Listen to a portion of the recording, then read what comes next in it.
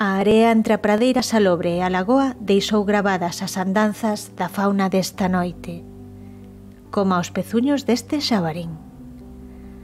Estes animais deixan unha pegada moi recoñecible. Teñen catro dedos, cada un coa súa uña modificada, chamada pezuño. Nas pegadas vense claramente os dous centrais, xa que os outros son máis pequenos e están máis elevados, polo que non sempre os marcan. Mmm, tiñan crías. Os rastros da dereita confírmano. As pegadas non só informan de quen é o dono deses pés, tamén nos deixan interpretar o seu comportamento.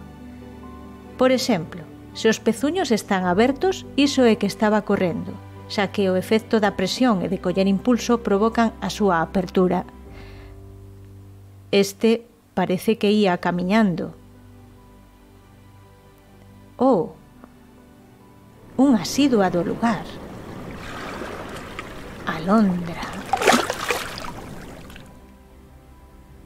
Tamén pasou por aquí hoxe cedo alguén e parece que acompañado dun can, o cal está proibido. Alondra soe marcar os seus cinco dedos, bastante separados entre sí, dándolle forma a pegada como de estrela, As uñas son pequenas e cando as deixan marcadas danlle forma aos dedos como de vaguas. Sabede que as pegadas das mans son distintas ás dos pés.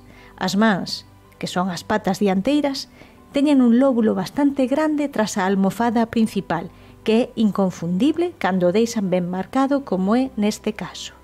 Os pés non o teñen daríase conta esa persoa que camiñaba cedo pola marisma do acontecido aquí pola noite? Probablemente non, pero agora vos xa sabedes o segredo para ollar o pasado.